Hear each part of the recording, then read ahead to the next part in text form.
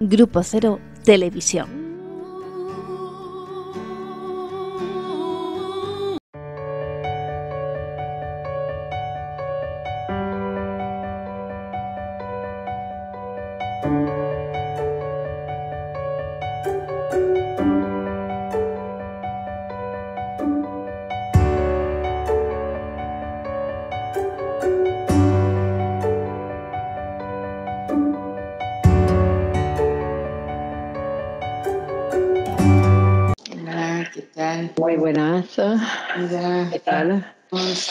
Aquí estamos otra vez, Norma. Estamos otra vez. Muy bien. Vamos a los cuentos de Norma. Vamos a los cuentos de Norma, sí. ¿Querés que te cuente un cuento? Oh, sí, por favor. Pero no te duermas. Porque es muy largo. No, porque viste cuando los niños Ajá. para poder dormir que les cuenten un sueño, Sueño. un cuento. Esto no sé si es un cuento o un sueño, pero tú escúchame. Ok. ¿Sí? Volvieron las cigüeñas, se llama. Abandonaron sus nidos y partieron hacia el norte de África. Ahora que el planeta ha girado en busca de una primavera, han retornado a sus nidos en los campanarios de Alcalá de Henares y comienza el periodo reproductivo con el conocido crotorreo, ese sonido tan característico que hacen con el pico que forma parte del cortejo. Principio de un discurso dando comienzo a un inicio que terminará más allá sobre la vibración de los campanarios, cerca de las nubes que se repliegan para no saber de ese acuerdo en íntima conjunción del macho y de la hembra, respondiendo a la necesidad de la esencia, la continuidad de la vida condensada en un huevo original que flota más allá de las líneas, que pierden su geometría pero que no olvidan, que retornan en cada estación buscando alguna calidez propicia, y en ese sobrevolar hacen el espacio indiviso, donde no hay ni puertas ni ventanas, solo una voluntad apoyada en un soplo de aire que los aleja y los trae nuevamente a sus templos sin imágenes de un reino, de un reino que se divide, se divide buscando siempre la primavera. Él miraba a las alturas en ese ademán buscando una unión que siempre lo fascinaba. ¿Qué podría igualar esa fuerza y esa fidelidad a mandatos desconocidos, que vertiginosamente se instalaba sin saber a qué se debía esa extraña manera de vivir, más bien esa novedosa manera de vivir donde se juntaban la fidelidad y la aventura. Las imágenes, cuántas veces había quedado prendido a ellas, curvas del cuerpo que se juntaban y se separaban armoniosamente. En el pueblo, esas formas se paseaban tranquilamente frente a los ojos de cualquiera que se dignase a bajar la mirada desde las, nubes hasta centrarla a ras del piso de piedras antiguas que habían vivido allí desde hace siglos, y esto era lo increíble, que todo permaneciera con una regularidad y una constancia como ese alejamiento y ese retorno. Esta vez caminaba por las calles y la llamaba, pero ay, esa partida, esta vez una partida sin regreso porque el viaje había sido hacia lo eterno. ¿Por qué se preguntaba este vacío? Si ayer tan solo mirábamos cómo volvían las cigüeñas a vivir en ese nido que habían dejado, pero que no habían abandonado, que quedó allí como una pausa esperándolos. Esa calle tantas veces caminada, la que conocía por sus sonidos, que tenían ruido de río que bajaba entre las piedras, de la que no sabía su nombre, pero reconocía su ruido, eran los peldaños por donde su deseo descendía y él avanzaba como en un sueño, sabiendo que era él y otro al mismo tiempo, ese otro que no era especialmente él, pero que se le parecía. Avanzaba, pero dentro de un laberinto donde el viento había borrado todas las huellas. Solo le quedaba una historia de plumas revueltas entre abrazos y lágrimas, y en su cuerpo una noche, abatiéndolo con los golpes de un tambor ensordecido metido en la jaula de su pecho. Siguió caminando hasta llegar a la plaza de la sirena de mármol, que siempre lo miraba de costado porque había quedado inmóvil en esa posición y desde allí lo miraba avanzar. Esa estatua fría con su cuerpo desnudo, mostrando sus voluptuosas curvas, pero sosteniendo su propia caída, ese chorro de agua que bajaba de la vasija que sostenía sobre su hombro derecho y que llenaba la fuente al mismo tiempo que, salpicaba la cabeza de sus sueños. Cada paso un tropezón, levantarse, borrón y cuenta nueva. Eso era lo que siempre había escuchado, pero esta vez era distinto. Habían quedado por el suelo todos los vestidos y no existía lugar donde esconder esa bancarrota del alma, esos aullidos del corazón. Condenado tal vez por la ausencia de ella a ser solo una sombra en medio del parque y con un cielo que se desprendía en pequeños copos que se detenían en su, en su cuerpo porque había comenzado a nevar. Dentro de poco todo el, parco, el parque se cubriría con un manto blanco y la sirena de la fuente se volvería más nibia y su mirada quedaría fijada en ese ángulo desde donde lo miraba y de a poco se iban a hacerse parecidos. Las ropas de él también quedarían cubiertas de ese blanco de ausencias y él y el mármol y el mármol se fundirían en un abrazo donde se confundirían y ese sería el mármol frío, dañado y arrasado por la distancia. No pudo quedar mucho tiempo abrazado a la estatua, conformando un conjunto de dos seres entrelazados en un momento de la tarde. Esto era solo un renglón del cuento. Luego vendría esa separación que llevaría para siempre las huellas donde la nieve se convertía en hielo y había que desprenderlo con el filo de un cuchillo y un golpe de martillo.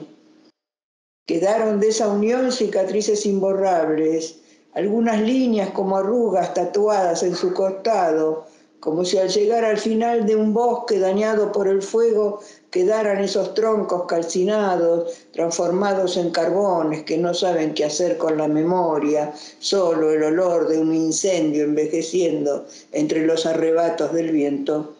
Pero ¿qué hacer con la memoria?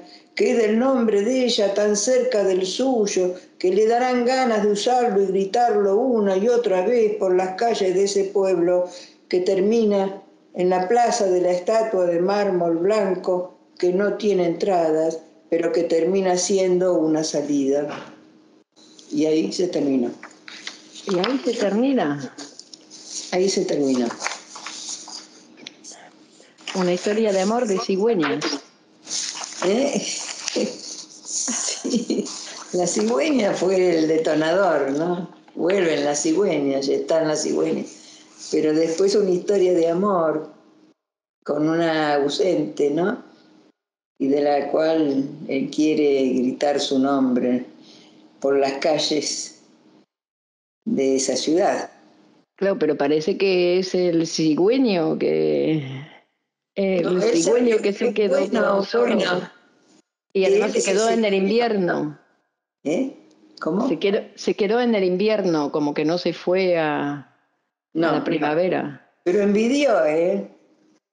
Envidió esa fidelidad unida a la aventura de esos pájaros. Son pájaros, ¿no? La cigüeña.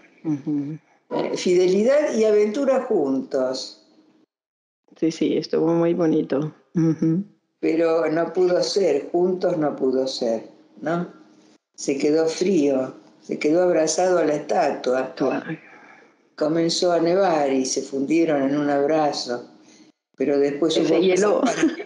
Que hubo que separar, ¿no? Ese hielo que se había incrustado. en su costado. Bueno, una historia de amor, ¿no? Otra historia más de amor. Una historia.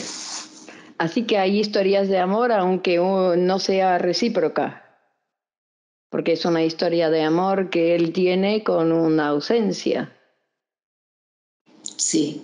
Y se llama historia de amor igual. Es una historia de amor.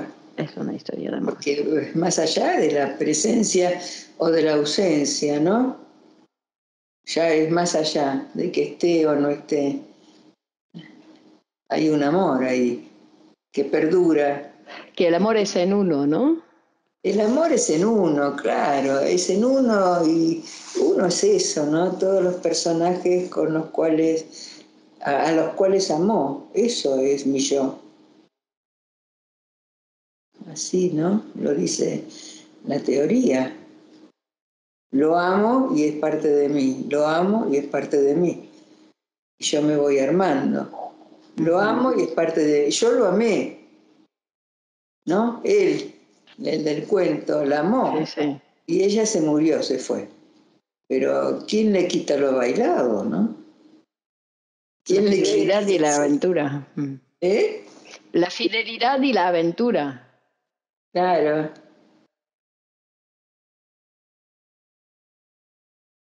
Bueno. He visto esta semana, creo, eh, una imagen de un recorrido de un pájaro, no sé, no recuerdo cuál, de cómo iba eh, del sur de África hasta el norte, hasta Suecia, cerca que 10.000 kilómetros calculan, y cómo el pájaro va como si supiese a dónde va que la línea casi está recta, que solamente se eh, hace una curva ahí en el mapa para evitar el agua, para evitar cruzar el mar, para siempre estar en tierra. Y dicen que eh, lo hacen en 42 días el viaje, los 10.000 kilómetros, y calculan que son 230 kilómetros al día. Y yo no sé si dicen si descansa entre medias y va directamente, pero es una barbaridad esos viajes que hacen ahí la, la migración esa. Es una barbaridad. Las cigüeñas buscan la primavera, ¿no? Buscan climas cálidos. Ahora va, estamos entrando en primavera y el pueblo se alborosa. Llegaron las cigüeñas. Claro, cuando hablabas de los latidos del corazón, yo escuchaba las campanas, ¿no? Pensando en el nido de la cigüeña, pensaba que eran las campanas, ¿no? Pero eran los latidos del corazón. El, el tambor ahí que había. Muy bien, Norma, muy bien. Ah, entonces, yo tengo mi historieta que se llama El marca página. El marca páginas. El marca página. Dice, ¿dónde volver? Digo patria y caen las amputadas, empobrecidas, negociadas e incluso las exterminadas. Digo ríos y navego sobre los nombres que se levantan del agua y cruzo fronteras de sangre toda roja, toda herida por el agotador imán que la detiene en su proteína. Digo y repito, ¿dónde volver? Mi pentagrama mortal ha desconfigurado la estatura de mi caminar. El compás del tiempo no puede comprobarse. Se ha acostumbrado el corazón a hinchar venas desconocidas, a levantar banderas como pieles de belleza, a poner en estas manos una fábrica de sueños y denuncias, porque me persigue el fuego robado, me ata a la distancia empecinada, con su voz de abismo. ¿Habré recorrido lo suficiente? ¿Cumplido con la promesa? ¿Defendido el viaje aunque el color sea discontinuo? ¿Aunque no me halle entera en el borde de la frase? La duda es como un cangrejo que parece no saber dónde la mar. Mi marca página parece no saber dónde quedó la huella. Quedan para mañanas nuevos renglones les pondré chispas y absorbiendo su memoria que a veces delata sus orígenes, tomaré el colibrí menor y el espacio grandilocuente bajo las axilas y seguiré con mis retazos de plumas la red que aúna los vientos de la tierra. ¿Ves? Yo también me fui volando. Es otro de pájaros, que no hemos, alguien estará por volar. Sí, este parece que está a punto, sí. Pero no, no lo hemos comentado, sorpresa, ¿no? ¿Dónde se juntan las palabras? Sí. Así que el marca páginas. Muy bien, muy bien. Muy bien. Entonces, uff, he perdido la marca del libro. ¿Viste? Toma. Acá te doy un marca página. El marca página, me he perdido. No me acuerdo. Eh... Además es un fenómeno el marca página, porque marca la página pero no el renglón. Ajá. Entonces a veces lo dejaste en la mitad de la página y te da una cosa volver a esto, pero esto ya lo leí, pero es esta la página, ¿no? Sí, efectivamente, no indica muy bien. Bueno, eh, yo recuerdo haber leído Es verdad poesía. Bueno, es una pregunta, ¿es verdad poesía? Sí. Eh, haber leído La poesía no estorba. No. Esta no te suena, ¿no? A mí tampoco. La verdad, la poesía no estorba. Hoy te denuncio que todo el mundo sepa que eres voraz y caprichosa, que eres la fiera que me habita, que te sirvo y me pongo de rodillas pidiendo para mí fuerzas al viento. El aire hace un jadeo, sube y baja por mis estrechos músculos, buscando escalas que me aprietan, que rompen mis vestidos. Pero jamás te interrumpo en tus ausencias. Tampoco me impaciento tanto. Te espero en tu capricho. Tal vez estés cansada. Mi amor protesta tanto que siempre te deja sospechada y corres, corres por mis sueños hasta tu próxima llegada. Cuando viene es terrible. Mi mano arde en letras del teclado. Miento que no la fuerzo y viene amable a conversar conmigo y somos dos sabios bajo el árbol. A veces la espero de rodillas, mirando como piensan las estrellas y no le digo nada. Ella pasa desenvuelta, envuelta en polvo y altiva sigue como una enajenada, rompiendo los adornos con que intento en mi retórica sellarla. Ella no sufre, son todas cosas mías. Yo quiero ribetearle el alma con pálidos romances, con lujo de mis venas alteradas, con crímenes de guerra o simple asesinatos. Pero ¿quién dijo muerte? De un jardín abrumado nacen llagas y ella es solo un bálsamo que cura las heridas, que no me estorba nada. Solo octavas y flores campesinas, versos que caen como flecos dorados en mi cara. Esta, la misma que sonríe y queda abandonada entre sus manos. A la poesía le canta, ¿no? ¿Cómo es el título? Eh, la poesía no estorba. No estorba. No estorba. Ahí lo vuelve a decir, ¿no? Que no me estorba nada. De rodillas. Relación también, ¿no? Qué bonito, ¿no? Una relación de amor.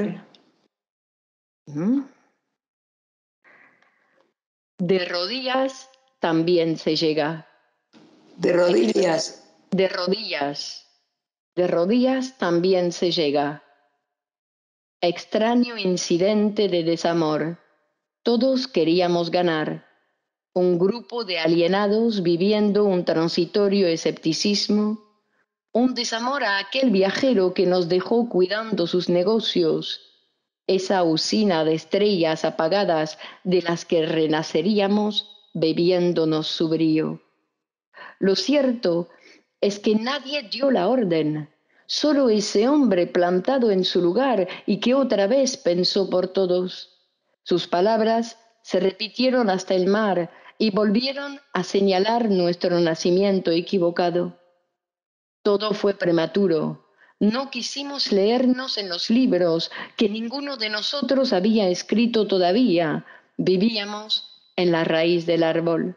No habíamos fundado aún la tierra en donde nos proponíamos nacer. Teníamos cuadernos llenos de caligrafías peligrosas. Había que llenarla de vientos, de hojas, de pies desnudos, de pan, de hormigas, de árbol, de diamante, de corazón enamorado.